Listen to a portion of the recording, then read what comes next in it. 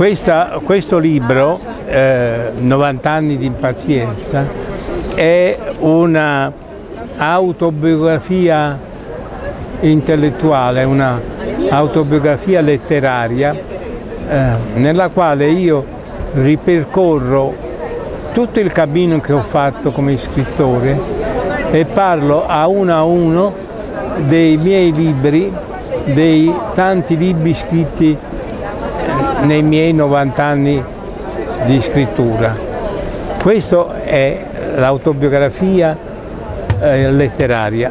Quest'altro invece è indicato bene dal titolo di che cosa tratta, sono gli umori e i malumori di un comune cittadino italiano di fronte alla situazione dell'Italia come ogni giorno gli viene presentata e questo gatto un po' ingrifato che sta sulla copertina sta a indicare lo stato d'animo in cui io accolgo questa situazione.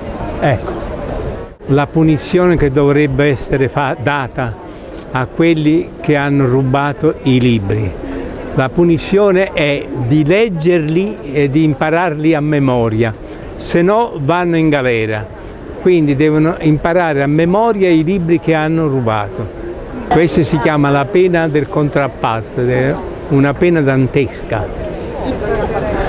Devono imparare a memoria, capito? La punizione è grande, secondo me ci metteranno la vita. Naturalmente tutto questo è un fatto mentale, però eh, detto in parole povere e cercando di spiegarlo, nella maniera più semplice il fatto è questo, che il mare non è più quello, il cielo non è più quello, la terra non è più quello e io me lo ricordo. E quindi il fatto che me lo ricordo genera in me una malinconia, la malinconia di una perdita irreparabile.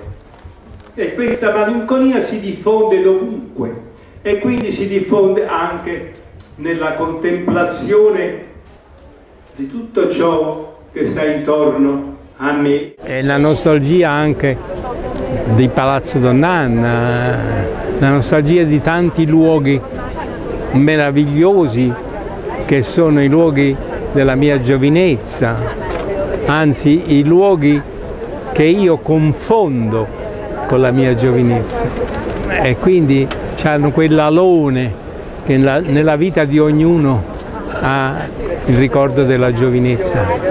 La traduzione che ho fatto dei quattro quartetti di Eliot, perché è un, una traduzione che è iniziata niente di meno nel 1945 attraverso varie prove e attraverso vari periodi finché non fatta e completata adesso nel mio novantesimo anno ed è stata pubblicata in un'edizione bellissima che poco fa è stata fotografata dall'editore Damiani che è un grande piccolo editore